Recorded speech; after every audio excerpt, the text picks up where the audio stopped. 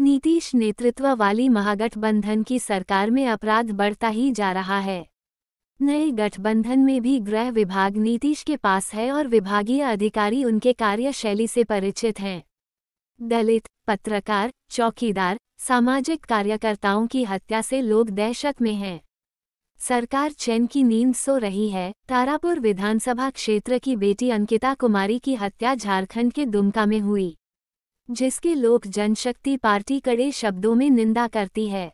आगामी लोकसभा चुनाव में पार्टी नीतीश कुमार से किसी भी स्तर पर समझौता करने के मूड में नहीं है। हम अकेले चलने वाले लोग हैं, परंतु लोकसभा में गठबंधन के साथ चुनाव लड़ने की संभावना बनी हुई है। लोक जनशक्ति पार्टी रामविलास के राष्ट्रीय सचिव मिथिलेश कुमार सिंह ने पार्टी कार्यालय में संवाददाताओं से बात करते हुए कहा कि अंकिता के हत्यारों की अति शीघ्र गिरफ्तारी के साथ ने फांसी की सजा मिले। पीड़ित परिवार को समुचित मुआवजा मिले। बिहार में सुखाड़ की स्थिति है। सत्ता पक्ष के द्वारा सूखाग्रस्त क्षेत्र घोषित नहीं किया जा रहा है। इससे निपटने के उपायों पर सर ज़मीन पर कुछ हो नहीं रहा है। मजदूर को काम नहीं मिल रहा है। किसान अपना अनाज बेचकर खेती में लगा चुका है और ठगा महसूस कर रहा है। लोग भयाक्रांत होकर जीवन यापन कर रहे हैं। किसानों के बारे में जल्द निर्णय नहीं लेने की स्थिति में लोक जनशक्ति पार्टी रामविलास जन आंदोलन के लिए मजबूर होगी। हमारा स्वभाव सरकार के अच्छे कार्यों का सराहना और उसके गलत कार्यों की निंदा करना है। श्री सिंह ने आगामी लोकसभा चुनाव को लेकर भी कई बातें बताएँ प्रेस कॉन्फ्रेंस में सांसद प्रतिनिधि चंद्रशेखर चौधरी, युवा प्रदेश उपाध्यक्ष डॉक्टर सर्वेश कुमार, श्रमिक प्रकोष्ठ जिलाध्यक्ष नवल पासवान साथ थे। उसके लिए क्या होता एक डीजल अनुदान से वो काम चलने वाला नहीं है। किसान के लिए सरकार को कुछ न कुछ करना होगा, नहीं तो आंदोलन हम लोग को भी करना होगा और हम लोग आंदोलन में जाएँगे।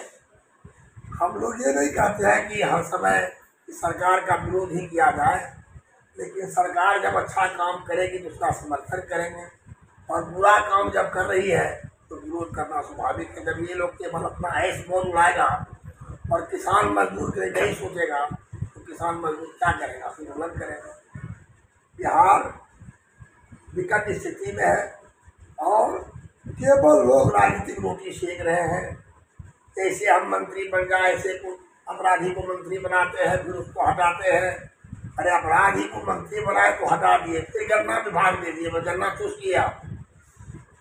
और तो गन्ना चूसने के लिए दे दीजिएगा तो किसान को चूस ही लेगा ना। कानून में गैर कानूनी आदमी को कानून कानून का मंत्री बना दिया। हमारे डॉक्टर मेवाला चौधरी को मंत्री बनाया था। यही सरकार था और उसमें जब हो गया कि दोषी है, तब तक मंत्री से हटा दिया। लेकिन अभी सरकार में एक पर एक मंत्री जो है, एक पर एक कानून के बाहर है और एक एक सदा उनको हो चुका मैंने दोषी है। लेकिन कोई बोलने वाला नहीं और कोई सुनने वाला भी नहीं वैसे में बिहार का भला भगवान ही करेगा, दूसरा कोई करने वाला नहीं है। और दिन प्रतिदिन बिहार में अराजकता पैदा हो रहा है और प्रशासन पर। सरकार का कोई ध्यान नहीं और प्रशासन पर कोई पकड़ ही सरकार का नहीं है। तेजस्वी यादव जी अगर अपने हाथ में बिहार की सत्ता लेते और गृह मंत्रालय लेते तो हम समझते हैं कि नीतीश कुमार से अच्छा काम ज़रूर वो करते और प्रशासन पर पकड़ उनकी होती और कार्यकर्ता का मनोबल भी बढ़ता। लेकिन नीतीश कुमार के रहते हुए प्रशासन पर पकड़ कार्यकर्ता का नहीं होगा। और कार्यकर्ता का मनोबल बढ़ने वाला भी नहीं है। इसलिए मैं नहीं कहता हूँ कि राजद का समर्थन करता हूँ और जदयू का विरोध करता हूँ। ये सरकार जब बनाई है उसीलिए कि बिहार को कैसे बर्बाद कर करते और कैसे लूट के खत्म करें। जितने मंत्री बने हैं, वो क्या करेंगे इस सबके नज़र में अभी किसी भी नेता के ज़ुबान पर ये नहीं है कि सुखाड़ का क्या होगा। यहाँ पे बाढ़ भी है, उसका क्या होगा।